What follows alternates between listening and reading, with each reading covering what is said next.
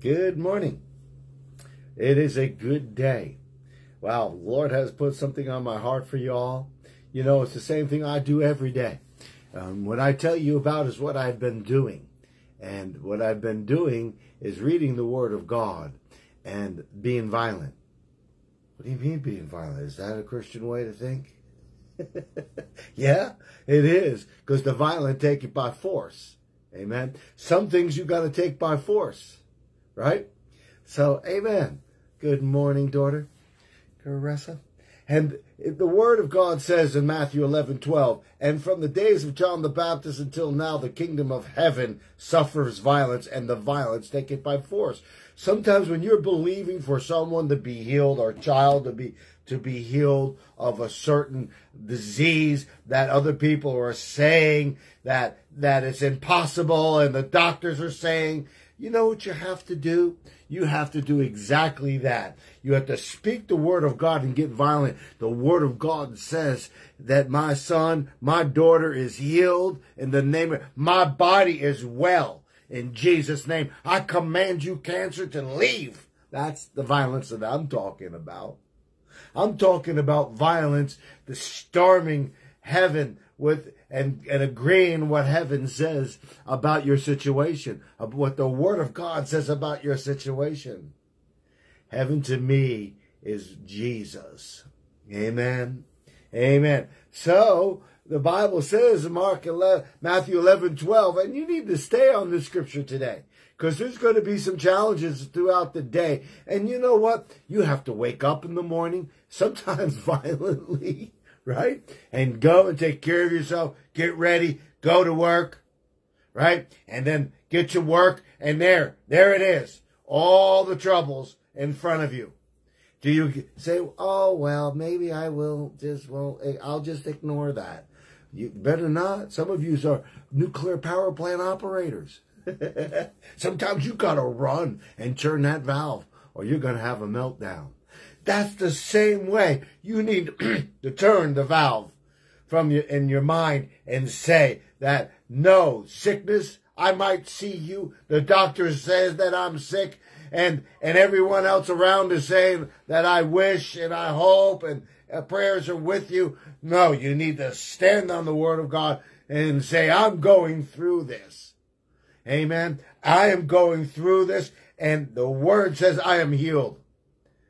You're crazy. No, I think you're crazy. That's the voice that you'll hear. He says, You're crazy. Yeah?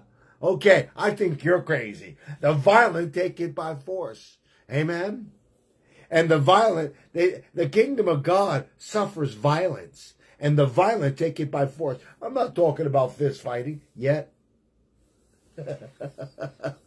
no, I'm not talking about taking a gun and shooting it.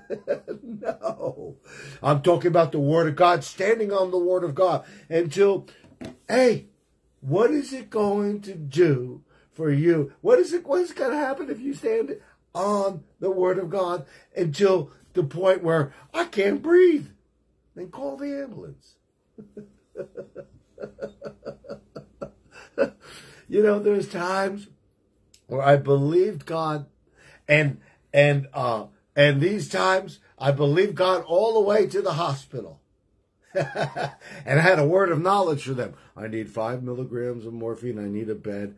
I need to rest. And I need, and I also need some antibiotics. And they said to me, are you a doctor? Because I had viral pneumonia in my first year in Bible college, but I wasn't giving up. I, you know, even Jesus came at the point where I was like, oh man, no one knows I'm in the hospital. I have five children. I got two of them I'm still taking care of. And wow, I have a, a wonderful wife. I know she'll help me to a point, but she needs me too. And people around me need me. And Jesus came and says, you want to go to heaven? You want to come home with me? Or do you want to be whole? And I was like, he just said that. Do you want to come home? And I was like, no. I, so I had this envision. And, and I, and he says, well, and I got this IV in my arm. Okay. First year in Bible college. Charis Bible College. Andrew speaking. Everyone else. Thank goodness. I thank God that he brought me there. I needed help. you know, sometimes you just need a jump start. Amen. You need someone to pray for you. And that's exactly what happened. He said, Jesus said to me, then I want you to get up and sign yourself out of the hospital. And I was like, okay. And you have to take it by force. I was 155 pounds, green and yellow and spit in the same color. Woo! And I needed to get back to school, the Bible college, because I needed to learn some more. And the, the doctor, the pharmacia, he that's the only thing he knows is to work in that medical industry. The only thing he knows is that you need to take some more drugs, more tests, and be a pincushion, and those drugs will make you more sick and more. And some of them, I mean, uh, the antibiotic was good at the time for me. It helped me to stay alive. My my organs were shutting down. Amen. I you know, I believed and I fought this all the way for weeks and until until my wife went to bed and I stayed up and I couldn't even lay down. I was in the living room. I believe God. And I said, body, you listen up. Oh, oh, oh. And I couldn't breathe. And I said, honey, I need to go to the hospital. And she woke up. Is the middle of the night. I'm, I'm sitting up.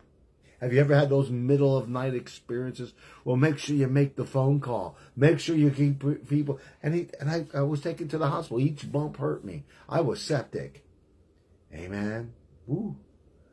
But Jesus said, take, get up out of your bed, sign yourself out, and go home. I said, okay, I will. Make sure it's Jesus. Amen. Make sure. I called up my wife. I said, honey, I'm signing myself out. I made sure when I was in that hospital bed that no one else was allowed in the room. Nobody but the Holy Spirit and the Bible, because I've seen what unbelief does. I've seen when other people say, "Oh, I wish," and they you see it on Facebook. I wish that, and and my and I send energy towards you. I don't need no energy, and I don't need no wish. All I need is the word of God, and the violent take it by force. Amen. They storm heaven and take it by force. Amen. They take that word of God and they take it by force, and nothing else is going to speak to them. Unbelief. Either the left side, the right side, the, the husband, the wife. You sometimes you just gotta be arrogant towards that, towards that what you hear. And, that unbelief you hear, you get arrogant towards it and say, no, that's not what the Word of God says. The Word of God says, I am healed.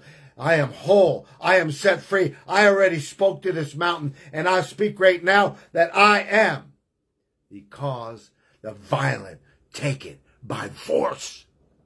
Amen. So I told the doctor I'm signing myself out. You know what he said to me in a kind voice? No, it wasn't a kind voice. You know what he said to me in this demonic look? You're gonna die. And I said, that's a spirit if I ever seen one. I said, no, I'm to live and not die, and I'm leaving and I'm signing myself out. Thank you, doctor, but no thank you. And I, man, I couldn't even, I walked to the wheelchair. I made it to my wheelchair. The violent take it by force. Ah, my body was aching me. I couldn't even breathe. I was spitting out gumbies. If you ever know what a gumby is, it's whatever. I won't discuss that. It it was it was phlegm. I was suffocating. Amen. so I got up and I got into the wheelchair. First year in Bible college. I had to get back to the Word of God and my brethren. That was the only safe place. I mean, I got all the unbelief out. So now I'm home.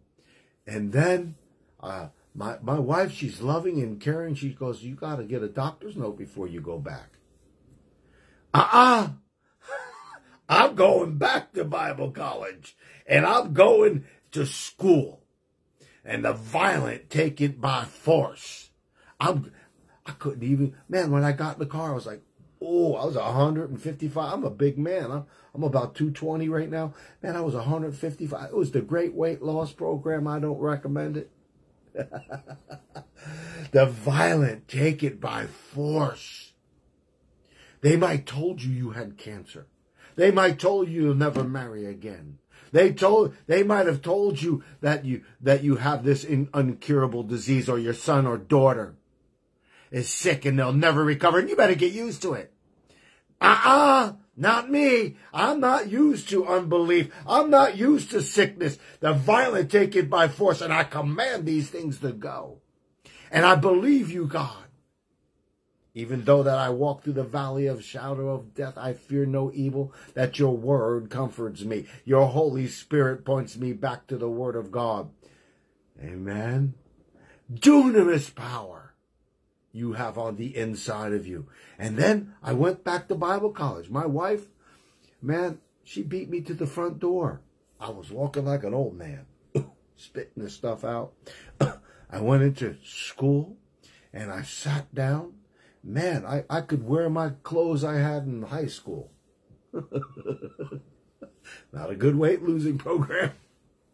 And I constantly was bombarded by the word of God. And the word says, and the word says, you need to shut off the YouTubes, you need to shut them down for a season. If you are not, if something is going on, I'm saying you need to listen to the word of God and the violent take it by force. Amen. Some things, Smith Wigglesworth used to take it by force. They, I mean, this one lady, she had a big tumor in her stomach and he prayed for her and she fell down on the tumor and she goes, ah! And the whole crowd went, Oh, and this one man stood up and says, you brute, to Smith Wigglesworth, and he looked at him. He goes, I know my job. You sit down now. And he says, pick her up. I, I, I, I, I tried this once. It worked, but I, it, Smith had a different way about him. I, these people must have been hardened heart. They had a hardened heart. And he said, pick up again and this big tumor on the inside. And and he says, go in Jesus' name. And she falls down again on the tumor and she goes, oh, the crowd. And he goes, you're rotten, the man says. And he's not told you to sit down. The violent take it by force. Somebody has to. Believe God. They pick her up again. if I was a catcher, I would be waiting for something to be thrown.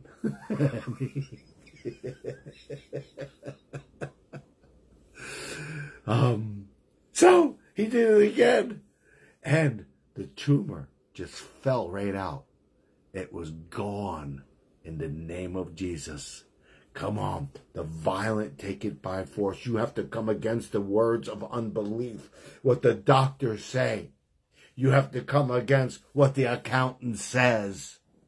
You got to call those things in that are not as though they were because you are an ambassador for Christ. Whatever you ask, you will receive. It says in Mark 11, 23, 24, the violent take it by force.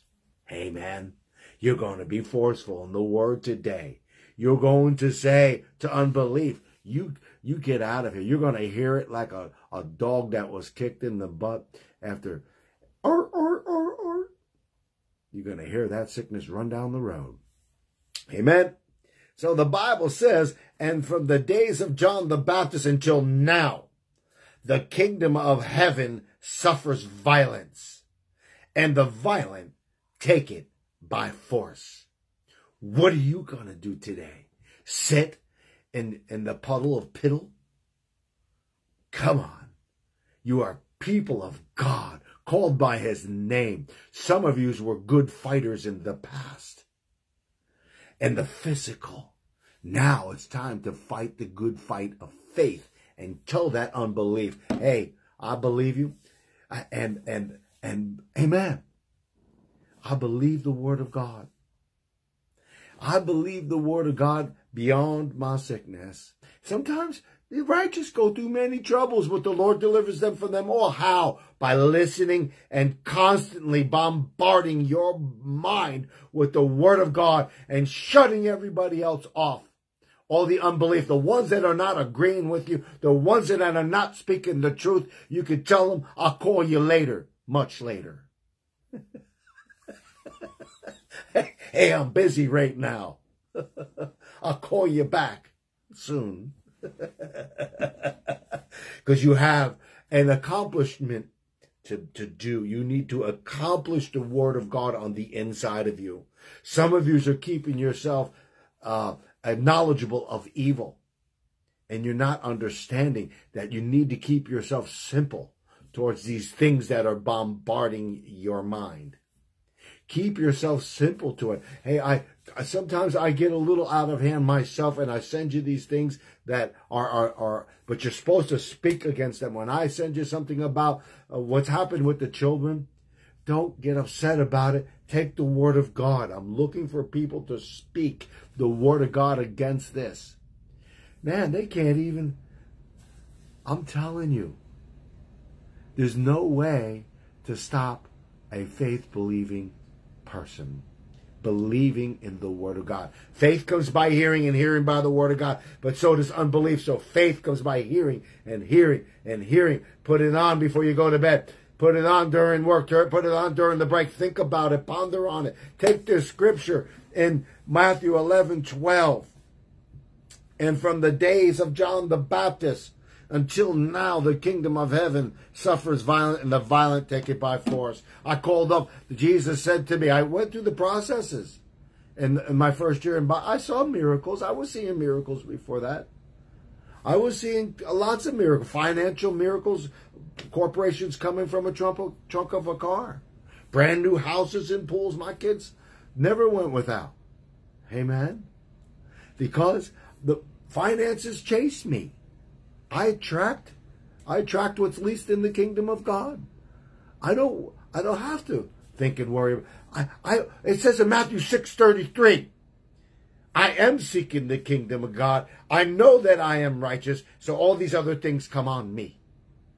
Read Matthew 6.33. It says, first seek the kingdom of God and his righteousness. And all these things, right standing with a king of kings that have all the supernatural things that can happen around you, seeking Him first? Yes.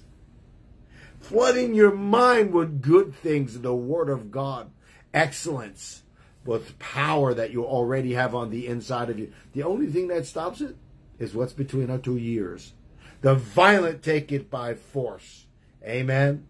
So the kingdom of heaven suffers violence, and the violent take it by force. This violent resolves is the precise ingredient missing in most and many people's lives. You need to add this ingredient against the battles that you are right now. Now, let me get violent. Okay? Will you agree with me in prayer? Because I'm going to get violent on certain things. It has to go. There you go. Some of you are receiving right now because you are renewed in the Word of God. You've been hearing orders from heaven. Amen. So I speak to sickness in children. All those foul reports that you heard, you need to cast them down. They might be true, but they're not going to reinforce their truth. The Word of God says, if I speak, I will have. And if I, if I speak, it will be given to me. Amen. So I speak against what the doctors say, and I believe what the Word of God says. My son and daughter are healed in the name of Jesus. The Word of God says so, and I believe it, and the phone will ring and people will call. No, the Word of God says. Oh, he's at it again. Yes, I am. Hey, I'm benefiting from it. Come on. Woo! Turn off the bad news. Keep yourself simple to what is evil. Turn on the good news and listen to the word of God. I command cancer to leave. I say right now, I curse you, autism. Right now, in the name of Jesus, you go. I believe that more than what everyone else is posting. Don't listen to them. Listen to the word of God. I thank you, Father, for every infirmity and disease leaves now in the name of Jesus. I believe that. I see it all the time. I'm too far gone. I've seen too much what Jesus does. Amen. He was never violent, was he? I think with the money changers, the ones that were robbing people of their what? Of their offerings? Man. Jesus was very, very aggressive on people getting healed. He said to the scribes, Should I tell? Should I tell him that his sins are forgiven? And he told the people, Or should I tell him that take up your mat and walk? Which one would you want? Well, you can have them both. So take your mat and walk. Amen. God is for you. Who can be against you? Right now, you, if you have the gift of tongues, you need to speak in the gift of tongues. I do that all the time. Why? Because it makes my stinking thinking, my mind, unfruitful. And the word of God comes in revelation. That means I start understanding things. In the spirit realm, it's more real than what you see. That's where you came from. You were a thought, and then the bedroom with the wife, and then you were planted with a seed, a sperma. It's the same way. Planting the word of God in your heart. It's the sperma word. It's the seed that you need to plant deep in good soil with praise and thanksgiving. And turn off what is evil and think on what is excellent, praiseworthy. And you need to do that. Amen. Amen. Think on things that are not as though they were. The kingdom of heaven suffers violent violence, and the violence, the violent takes it by force. Amen. Amen. You have a wonderful day. There's all kinds of stuff in back of New Identity Ministries. There is a um, a precious man of God that was with T.L. Osborn. This man has seen millions of miracles. He said, Ron, I want you to put this book and take this book and sell it and give it to the ministry. And I was like, wow, thank you, Jesus. But me, make sure if you grab this book in the back of the uh, New Identity Ministries, throw a little offering in there. We, we want you to work on faith. We want you to sow into good ground where you're getting fed. Remember, where you're led and where you're fed is where you give. If you're not being fed where you're led, where you don't give. But if you're getting fed, make sure you sow a seed in that ground because what you're saying is, I believe. Finances is very powerful, but it's least in the kingdom of heaven. But Brother Mike, Brother Mike, man of God, loves the word, put his life all out there against all odds. You got to read it. Top evangelist, I would say he was one of the top of just below Reinhard Bonnke. If not, he'll get there. I know he will. He's looking for a hundred million people to get saved in his lifetime. I think he's up to 21 million. Grab the book. It's in the back. It's filled with wisdom. Amen. I'm looking for an editor too, someone that would be able to edit. Also, if you can give your time and, and editing, let me know if you're an editor. Amen. You could sow into the kingdom of God and receive great things. Amen. So go pick up your books. The Holy Spirit Pit Benefits Package was brought to you by the Holy Spirit.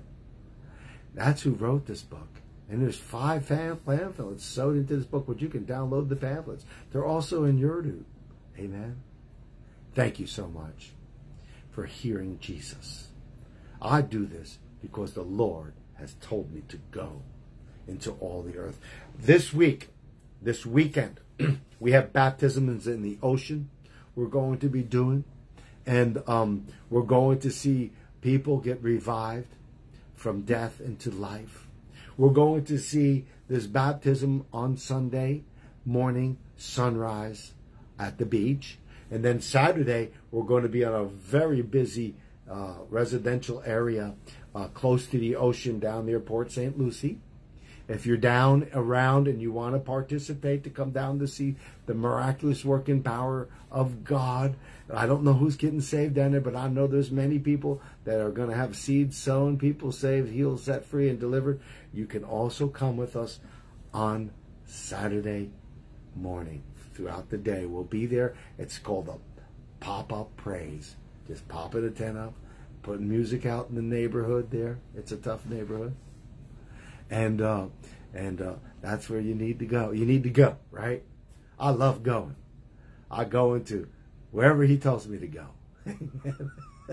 Amen.